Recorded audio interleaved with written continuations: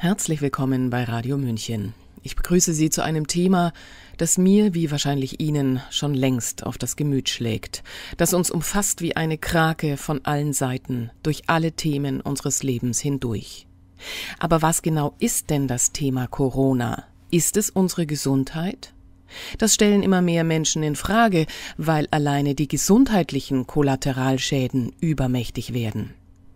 Eine in Aussicht gestellte SARS-CoV-2-Impfung lässt uns erneut genau diese Frage stellen. Eine noch nie zuvor zugelassene Technik, ein genetischer Eingriff in den Menschen, die sogenannte mRNA-Impfung.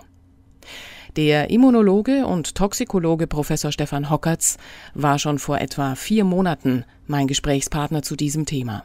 Damals war ihm gar nicht wohl. Er warnte vor millionenfach vorsätzlicher Körperverletzung durch unausgereifte und unserem bis heute entwickelten Standard nicht angemessen getestete Impfstoffe. Heute stellen uns zum Beispiel die Unternehmen BioNTech und CureVac für sehr bald ihre Impfkandidaten in Aussicht. Was konnte Professor Stefan Hockertz bis heute erfahren über die Wirkmechanismen, die Studienlage und die Zulassungsformalien? Hören Sie jetzt ein Update zur Corona-Impfung. Es geht ganz banal los. Wovor soll der Impfstoff nun genau schützen? Vor der Krankheit per se, vor einem schweren Krankheitsverlauf oder davor, andere anzustecken? Ja, guten Tag, Frau Schmidt. Erstmal vielen Dank dass wir wieder miteinander reden können. Ihre Frage ist nicht so einfach zu beantworten, denn wir wissen über diesen Impfstoff eigentlich, und das habe ich ja schon in früheren Interviews gesagt, relativ wenig. Wir wissen eigentlich fast nichts. Und ich halte es gerne mit Herrn Wieler, das ist ja der uns bekannte Präsident des Robert Koch Institutes, der am 15.10.2020 bei Phoenix in einem Interview persönlich gesagt hat, ich zitiere mal, also wir gehen alle davon aus, dass im nächsten Jahr Impfstoffe zugelassen werden. Wir wissen nicht genau, wie die wirken, wie gut die wirken, was die bewirken. Aber ich bin sehr optimistisch, dass es Impfstoffe gibt. Ja. Ende des Zitats. Liebe Frau Schmidt, wenn Herr Wieler das sagt, wie soll ich das wissen? Wir wissen eigentlich wirklich über diese Impfstoffe, außer dass sie mRNA enthalten, fast nichts. Wir wissen, dass diese mRNA wahrscheinlich bei AstraZeneca über Lipidtröpfchen oder über Nanosomen in die Zellen hinein transportiert werden sollen. Wie das bei BioNTech der Fall sein soll, ist auch nicht ganz offen. Das ist gar nicht offengelegt worden, wie es funktionieren soll. Richtig, es ist bisher nicht offengelegt worden, wie das Ganze funktionieren soll. Wenn ich jetzt in den Medien zur Kenntnis nehmen darf, dass wir eine erst 90-prozentige Wirksamkeit bei BioNTech haben, dann zog AstraZeneca zwei Tage nach mit 95-prozentiger Erfolgswahrscheinlichkeit. Dann kam BioNTech auch mit 95 Prozent Erfolg dann hat das für mich zunächst einmal den Anschein, als ist dort ein Wettstreit ausgebrochen. Wer hat nun mal die höchsten Zahlen? Darf ich da ganz kurz einhaken? Es wurden ja 43.500 Probanden, also bei BioNTech, in äh, länderübergreifenden Studie zusammengeführt. Wie Sie schon sagten, also zuerst waren es diese 90-prozentige Wirksamkeit und kurz darauf 95-prozentig. Sie wissen ja Bescheid, wie solche Studien zustande kommen, wie solche Studien gemacht werden müssen. Hatte man sie vorher verrechnet oder welche Untersuchungen sind das, die dann zu solchen Änderungen führen? Das ist mir absolut schleierhaft. Ich will mal gar nicht auf die Veränderung eingehen, sondern auf die Zahl selbst, die mir absolut schleierhaft ist. Wir haben, beziehungsweise mit meiner Unterstützung wurden eine ganze Reihe von Impfstoffen entwickelt und auch zugelassen. Ich komme ja aus diesem Bereich. Wenn wir zum Beispiel bei einem Influenza-Impfstoff eine Wirksamkeit von 30 bis 40 Prozent hatten, dann haben wir gejubelt. Wirksamkeit bedeutet, dass der Mensch zu einer vergleichbaren Population, die nicht geimpft worden ist, eben zu 30 bis 40 Prozent weniger erkrankt. Von 95 Prozent waren wir bislang immer meilenweit entfernt. Das ist für mich ein medizinisches Wunder. Und bei Wundern habe ich immer das Problem, daran muss man glauben. Aber geglaubt wird in der Wissenschaft nicht, sondern belegt. Nicht nur ich stehe vor einem Rätsel, sondern auch zum Beispiel das Heute-Journal im ZDF ist ein Kollege interviewt worden, ein Virologe, das ist keiner, der sich mit Zulassungen beschäftigt, aber so what. Man hat ihn gefragt, wie denn diese Erfolgszahlen zustande kommen und er sagte auch ganz klipp und klar, das weiß ich nicht. Es weiß niemand. Es kann ja auch nur ein Surrogatparameter sein, also ein Ersatzparameter, denn ein Nachweis ob nun die geimpften Personen erkranken, ich spreche jetzt nicht vom PCR-Test, sondern ich spreche von einer Erkrankung, oder ob sie nicht erkranken, wenn sie dann geimpft worden sind, der Nachweis ist in der Kürze der Zeit nicht zu führen gewesen. Und erst recht nicht mit der von Ihnen genannten Anzahl von Probanden. 43.000, die sind auf zwei Jahre verteilt. Also die Studie läuft, wenn es hochkommt, mal drei Monate. Ach, die ist noch gar nicht zu Ende. Nein, auf gar keinen Fall. Sowohl die AstraZeneca-Studie als auch die von BioNTech ist auf zwei Jahre konzipiert, also bis August 2022. Dann wird der letzte Patient eingeschlossen. Ich sage immer Patient, es ist Proband, verzeihen Sie, sind ja gesunde Menschen, die geimpft werden. Und wenn der letzte Proband eingeschlossen worden ist, dann wird die Studie ausgewertet. Es handelt sich hier jetzt um Zwischenauswertungen die sind eher als Trend zu betrachten. Also im Vergleich, sage ich mal, wie bei einer Wahl, sind die Wahllokale noch gar nicht geschlossen, aber wir sprechen über Trends. Das macht sich natürlich in der Öffentlichkeit gut. Bei der Wahl wissen wir ja auch nicht, wie die Trends zustande kommen. Bei den letzten Wahlen haben wir gelernt, dass die Trends gar nicht stimmten. Es stimmt nicht mal die Hochrechnungen. Es ist hier nicht mal eine Hochrechnung, es ist ein Trend, weil ich ja noch nicht einmal alle Patienten eingeschlossen habe. Ich habe, wenn es hochkommt, 10 Prozent eingeschlossen. Okay. Also bei AstraZeneca weiß ich es genau, wurde die Studie ja gestoppt im September und da waren es 530 Patienten, die eingeschlossen waren von 30.000. BioNTech hält sich da etwas bedeckt, wie viele Patienten sie eingeschlossen haben. Okay. Also nachdem wir jetzt nicht über den Wirkmechanismus sprechen können, seriöserweise, ähm, sprechen wir über die Nebenwirkungen. Jetzt hat der Präsident des Paul-Ehrlich-Instituts, Professor Klaus Kietschutek, gemeint, Warnungen vor Erbgutschäden seien falsch und würden unbegründet Ängste schüren. Das habe ich in der pharmazeutischen Zeitung gelesen. Und da beschreibt er, dass es nicht sein kann, dass es eine genetische Veränderung geben könne, denn RNA sei ja nur ein Strang der DNA und das RNA müsste sich in der DNA praktisch reproduzieren bzw. wieder aufbauen zu einer DNA. Nur dann hätte man etwas Gefährliches. Was können Sie denn dazu sagen? Zunächst einmal mein Respekt vor dem Präsidenten des Paul-Ehrlich-Institutes, aber auch der Hinweis, dass er ein hundertprozentiger Angestellter unserer Bundesregierung ist. Auch das Paul-Ehrlich-Institut ist ein der Bundesregierung unterstelltes Institut. Er ist kein Toxikologe und deshalb wagt er sich natürlich mit Aussagen aus dem Fenster, die von meiner Sicht her erst einmal zu belegen wären. Die Behauptung, mRNA könne das Erbgut verändern, ist von mir auch so nie getroffen worden. Ich habe die Frage gestellt, ob denn untersucht worden ist, inwieweit mRNA, die ja künstlich uns zugeführt wird, in die Zellen hineintransportiert wird, sich zum Beispiel selbst replizieren kann. Das ist möglich durch eine RNA-abhängige RNA-Polymerase. Oder inwieweit zum Beispiel eine Zweitinfektion mit einem Virus, der in der Lage ist, aus RNA DNA herzustellen, diese RNA dann tatsächlich zu DNA produziert und wir dann tatsächlich Erbgutschädigungen haben. Das ist doch etwas, und da bin ich über die fehlende Vorsicht des Paul-Ehrlich-Instituts erstaunt. All diese Fragen müssten wir bei einem normalen Vorgang einer Zulassung einer neuen Impfstrategie, einer gentechnologischen Veränderung, das ist es formal, wenn ich mRNA in Organismus zuführe, ist das ein gentechnologisches Experiment, müssen solche Dinge abgetestet werden. Und erst dann, wenn ich das Experiment durchgeführt habe, am Tier oder auch an der isolierten Zelle, dass zum Beispiel diese mRNA, wie sie abgebaut wird, wie lange sie abgelesen wird, ob tatsächlich in Vergesellschaftung mit einem zweiten Virus, der eine RNA-abhängige DNA-Polymerase besitzt, ob dann nicht doch eine Umsetzung ins Genom stattfinden kann. Erst dann, wenn ich diese Experimente gemacht habe, signifikante Ergebnisse nach Good Laboratory Practice, erst dann darf ich solche Aussagen treffen, wie sie Herr Zichschutek jetzt getroffen hat. Bitte doch erstmal Experimente durchführen und nicht Glaubensweisheiten verkünden.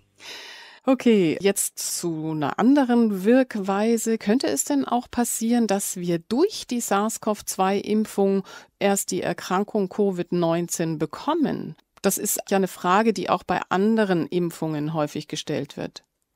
Das ist eine berechtigte Frage. Auch das ist nicht geprüft worden. Das ist auch etwas, was der Kollege im ZDF gesagt hat, dass man ja auf Tierexperimente komplett verzichtet hat. Ich habe im Übrigen ein großes Unternehmen, was dort mit beteiligt ist, ein großes amerikanisches Unternehmen, gefragt nach toxikologischen Daten, weil ich sie ja von BioNTech nicht erhalten habe. Und dieses Unternehmen schreibt mir in Gestalt eines Senior Medical Directors, we don't have any data. Das heißt, sie haben keine toxikologischen Daten. Das wird alles, wie der Kollege im ZDF schon gesagt hat, jetzt an 40.000 Menschen ausprobiert. Humanexperimente. Auch da wird dann gesehen und hoffentlich mal dann auch hingeschaut, ob tatsächlich diese mRNA-Impfung die Krankheit auslösen kann oder was denn in unserem Immunsystem ausgelöst wird. Das weiß ja auch niemand. Wir haben eine Theorie, eine Arbeitshypothese. Wir könnten auch sagen, eine Verschwörungstheorie. Dahingehend, dass wir sagen, mRNA wird also abgelesen in der Zelle. Auf der Oberfläche wird irgendetwas, wir wissen nicht was, von SARS-CoV-2 exprimiert, also auf der Oberfläche dargestellt, und darauf soll das Immunsystem reagieren.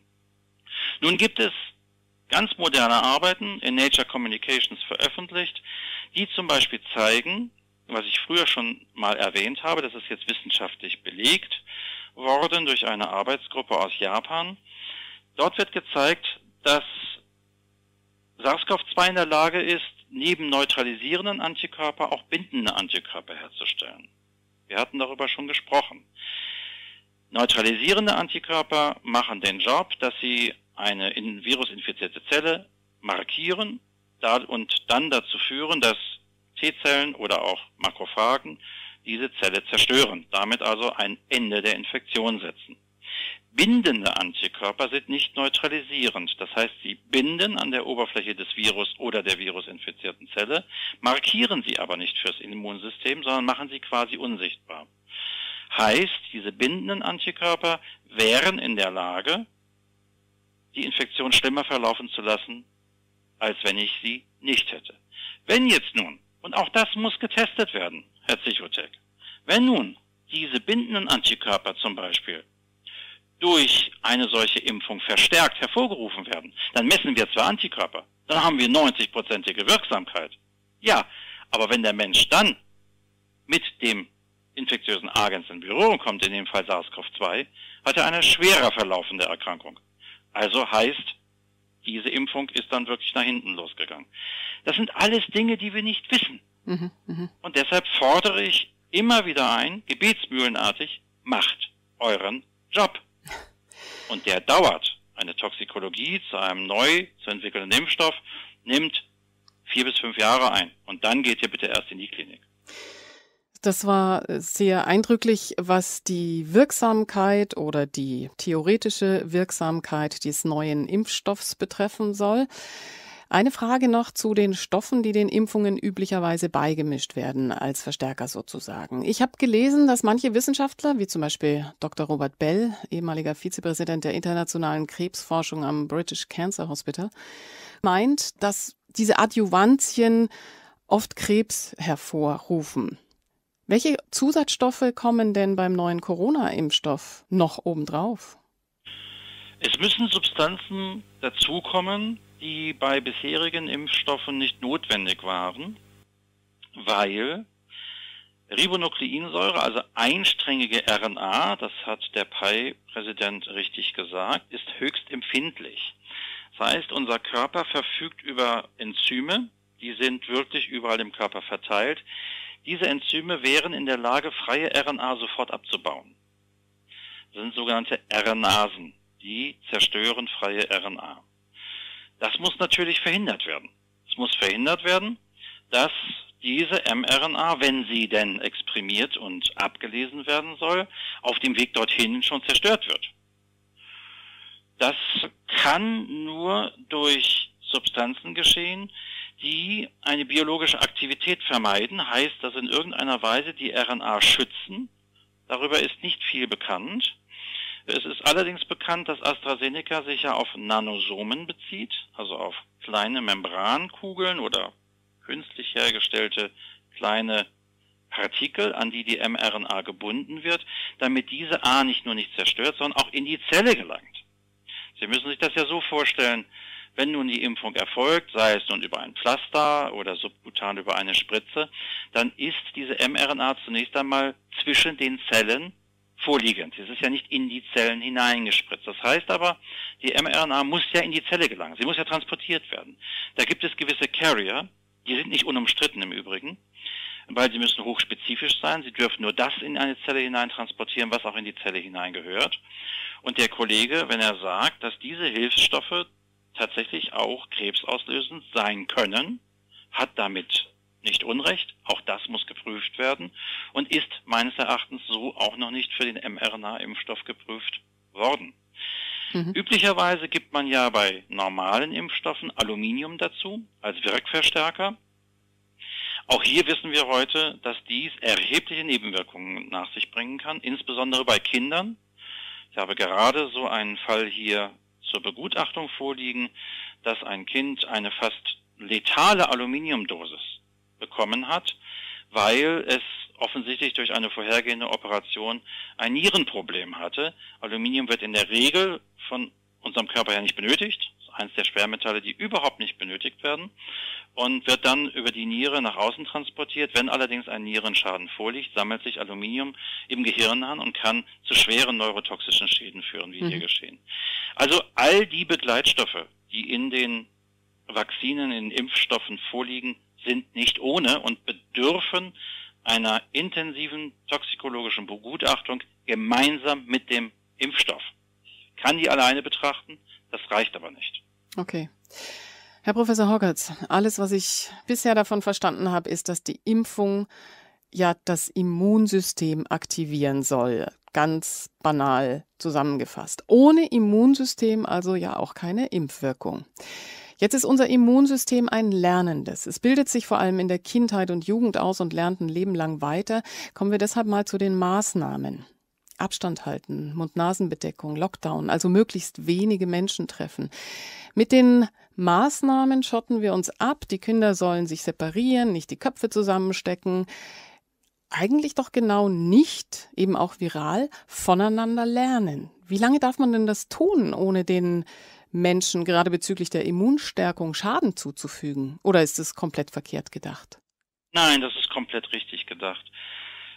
Lassen Sie mich vielleicht ein schönes Beispiel bringen, was wir nach der Wende, also nach der Wiedervereinigung zwischen DDR und Bundesrepublik, einmal messen durften. Das hat damals die GSF gemacht in München. Es war ein sehr interessanter Ansatz. Dort wurden etwa 200 Kinder aus Bitterfeld, also jetzt wirklich kein sehr sauberes Umfeld auf Allergien untersucht und 200 Kinder aus einem Münchner Vorort, wo Sauberkeit ganz groß geschrieben wurde.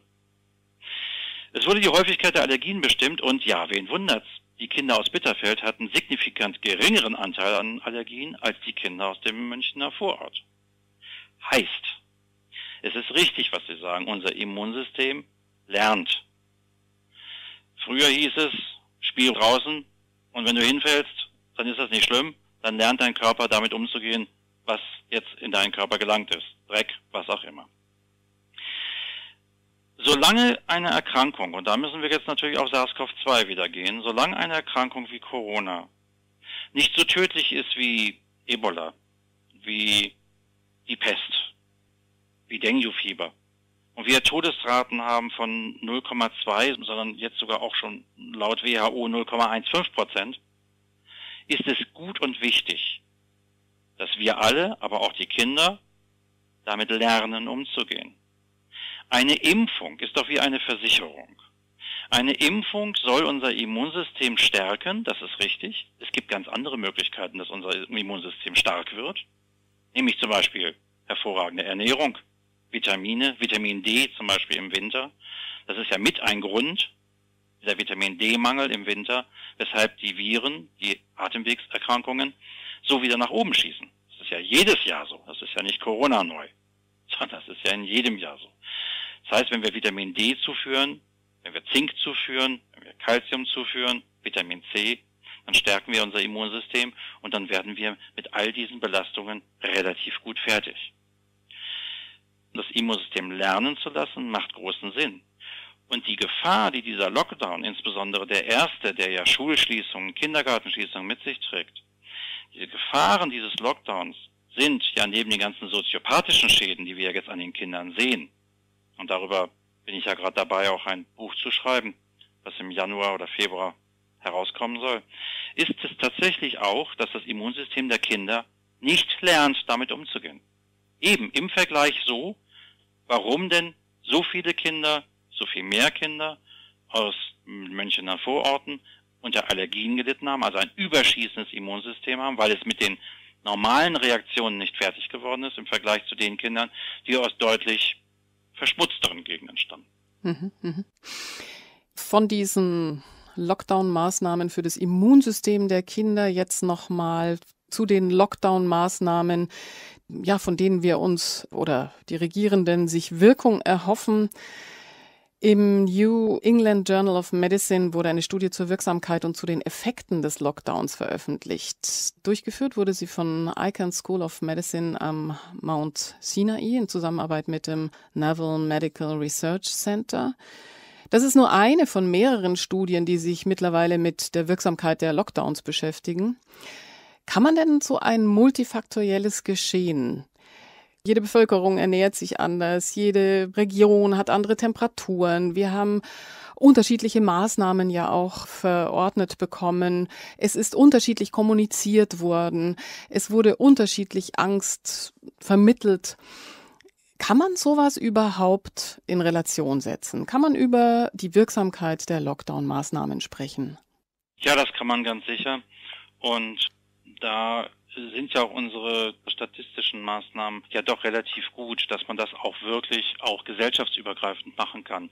Das National Bureau of Economic Research hat dies vor einem Monat getan, über 40 Seiten dazu publiziert und gezeigt, rein statistisch gezeigt, mit wunderschönen Berechnungen, über die sich das Robert Koch Institut eigentlich freuen dürfte, weil sie so toll sind, dass eben die sogenannten NPIs, das nennt man die Non-Pharmaceutical Inventions, all das also, was nicht pharmazeutisch war, was also keine Behandlung war, eine, eine medizinische Behandlung, sondern alles, was über das Government, alles, was über die Regierung verordnet wurde, hat keine Wirkung gezeigt. Das gilt für China, das gilt für den ersten Lockdown in Deutschland, das gilt für die Schließen des Flughafens in Wuhan, ebenso wie jetzt den zweiten Lockdown, den wir jetzt erleben.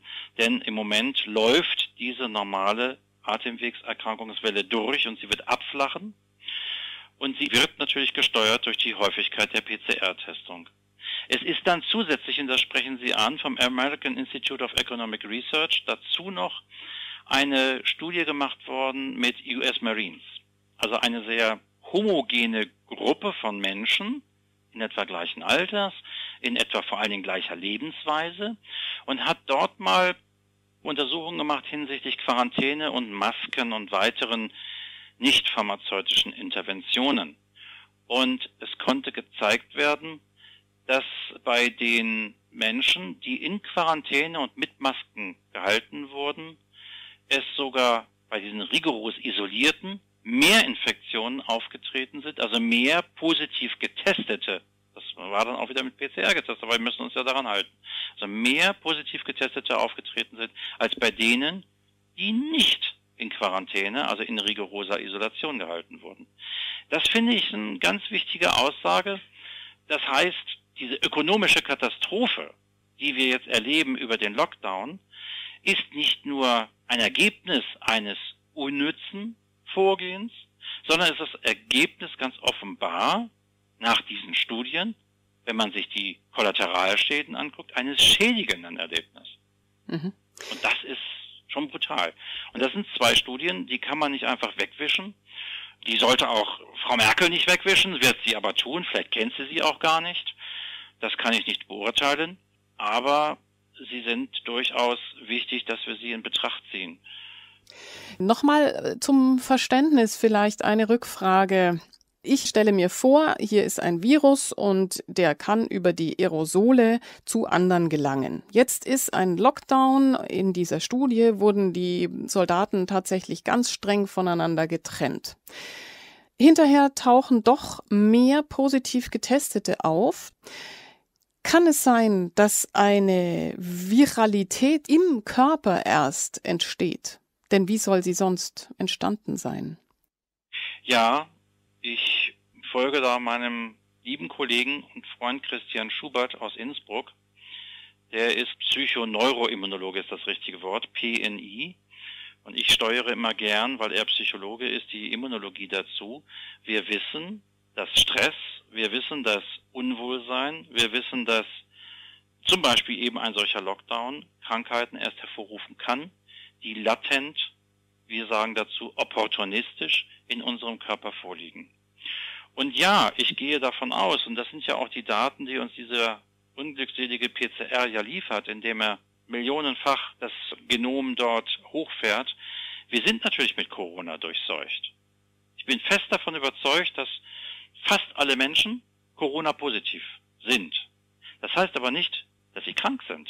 Wir haben ja auch andere Viren. Wir haben über drei Kilogramm unseres Gewichtes, das müssen wir uns mal vorstellen, machen Mikroorganismen aus. Bakterien und Viren. Viren wie Bakterien, aber auch Pilze sind Opportunisten. Sie treten immer nur dann in Erscheinung und machen uns wirklich krank, wenn wir anderweitig geschädigt sind. Wenn ein entsprechendes Milieu vorhanden ist. Wenn ein entsprechendes Milieu vorhanden ist oder umgangssprachlich heißt ja eine Rhinovireninfektion bei uns Erkältung. Ja. Das heißt deshalb so, weil wir unseren Körper über Kälte geschwächt haben und dann diese Viren, die wir schon längst in uns haben, loslegen können. Gut, vielen Dank. Das war wieder sehr umfangreich und sehr interessant. Gerne. Sie hörten ein Update zur Corona-Impfung in einem Gespräch mit dem Immunologen und Toxikologen Professor Stefan Hockertz. Ich wünsche uns allen ein besonnenes Vorgehen der Verantwortlichen, die diese Impfung produzieren, testen, validieren, mit Nachdruck empfehlen und verabreichen. Dieses und auch weitere Gespräche mit Professor Hockertz und anderen Experten zum Thema finden Sie zum Nachhören auf unserer Homepage www.radiomünchen.net und auf den gängigen Social-Media-Plattformen. Mein Name ist Eva Schmidt und ich wünsche Ihnen noch einen schönen Tag, am besten mit Radio München. Ciao, Servus.